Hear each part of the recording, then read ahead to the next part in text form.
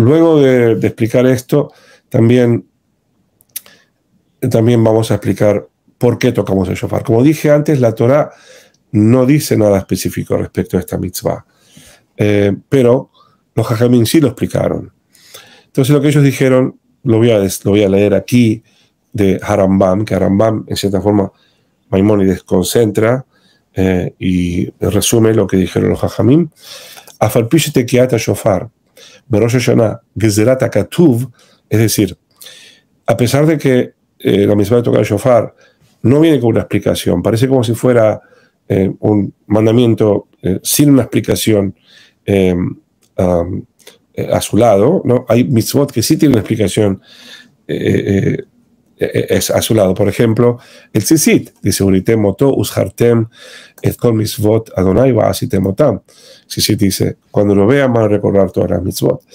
En la Torah no está nada dicho respecto a el porqué del shofar, pero dice Ramam remes yeshbo, eh, hay la Torah insinúa esto. La verdad es que lo insinúa en Ketubim, en el libro de Tehilim Shofar, bakese le yom hagenu, kihok le Israel hu, mishpat le lohe Yaakov. Lo voy a explicar más adelante, pero ese es el remes.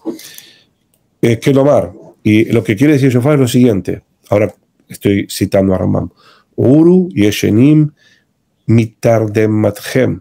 So, perdón. Uru yeshenim mishenatechem. Benirdamim akitsu mitardematechem dice, despiértense los que están dormidos de su, um, de su sueño um, y abran los ojos los que están en su letargo. O sea, shofar es un despertador, un despertador de conciencias.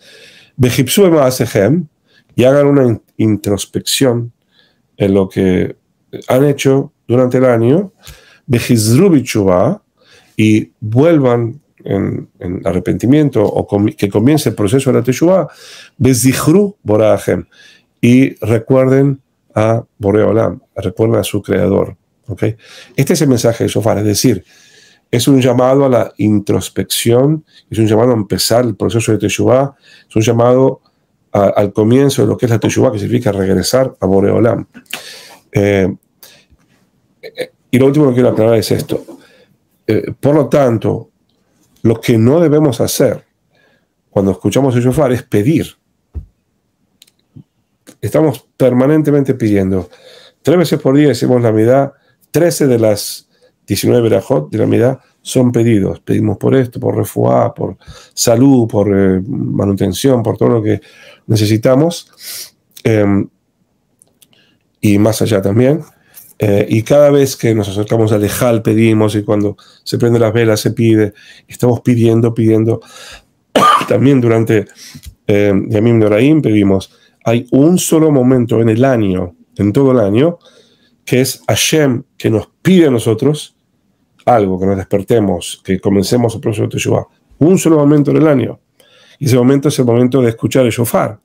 Entonces, lo último, lo único que no debemos hacer en ese momento es pedir, es pedir, ¿ok?